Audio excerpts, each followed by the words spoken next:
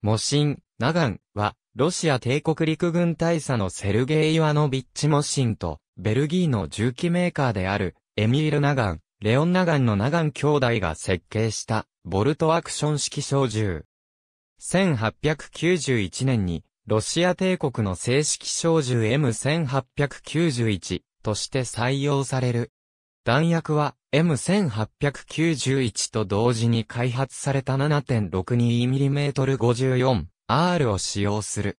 リアサイトはタンジェントサイトで距離標尺の表示にはロシア帝国独自の単位であるアルシンが使われていた。全長は約 130cm で世界各国の同世代の小銃と比べて最も長い。中堅はスパイク型を使用。第二次世界大戦中のソ連赤軍では、銃剣は着剣状態で携行するため、鞘が付属しておらず、銃剣状態で射撃することが基本とされていた。照準も着剣状態に合わせて調整しているため、銃剣を外して撃つ場合、改めて調整し直さなければならなかった。不評用の小銃のほか、騎兵用に10センチメートルほど短くなったドラグーンライフル。ドラグーンライフルと同じ長さだが着剣できないコサックライフルの3種類があった。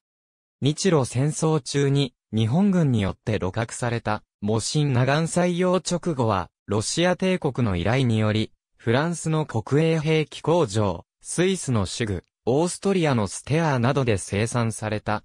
後に国産化され、トゥーラ造兵廠、イジェフスク造兵廠、セストロレック兵器廠などの兵器工場で本格的に生産が開始。1900年に起きたギワダンの乱で初めて実戦投入される。1904年の日露戦争時には380万丁のライフルが納入された。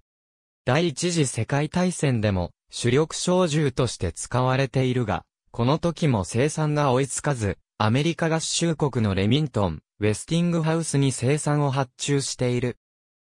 ロシア内戦などでも多数使用され、ロシア帝国からソビエト連邦移行後の1920年代まで生産され続けた。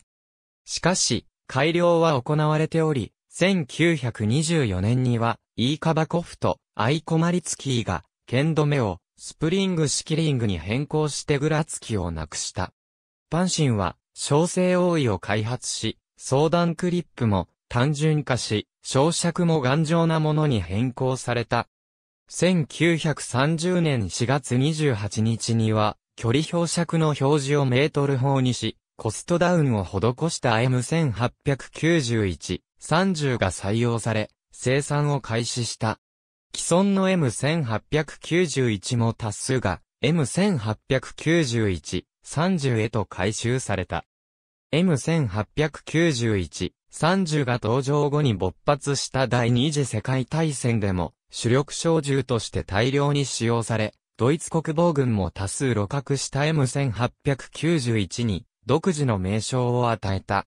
ただし、表示にアルシンが使われていたため、自軍では使用していなかったが、ドイツ本国が危うくなった1944年から国民突撃隊に交付されるようになった。第二次世界大戦終結直前の1945年に、半自動カービンの SKS がソ連軍の主力小銃として採用され、置き換えが開始された。1949年には、革新的な自動小銃である AK-47 への更新が進められ、1950年代になると、SKS ともども第一線の不評部隊では使用されなくなっていった。なお、第二次世界大戦後も民生用小銃としての生産は各種派生系を含めて続いている。ベトナム不評軍の兵装モシンネゴント91、30ライフルとして登場。その他様々な FPS TPS ゲームで登場している。ありがとうございます。